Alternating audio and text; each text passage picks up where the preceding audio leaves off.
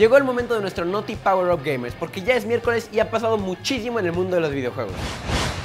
A partir de junio 9 estará a la venta una versión de Xbox One sin Kinect a un precio de 7.499 pesos en México, o sea, unos 399 dólares en Estados Unidos.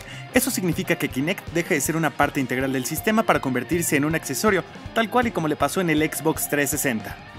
La buena noticia es que en junio ya habrá juegos gratis para Xbox One.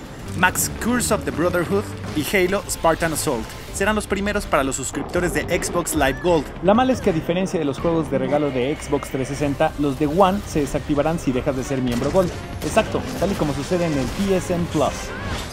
Sin especificar de qué se trata, Nintendo confirmó en voz de Satoru Iwata que prepara nuevas consolas y juegos enfocados en mercados emergentes a partir del próximo año.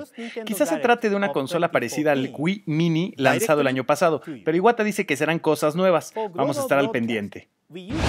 Con tan buenos y atractivos personajes en su poder, Nintendo no se podía quedar atrás en una propuesta que tal vez sea tipo Skylanders, aunque no se ha especificado.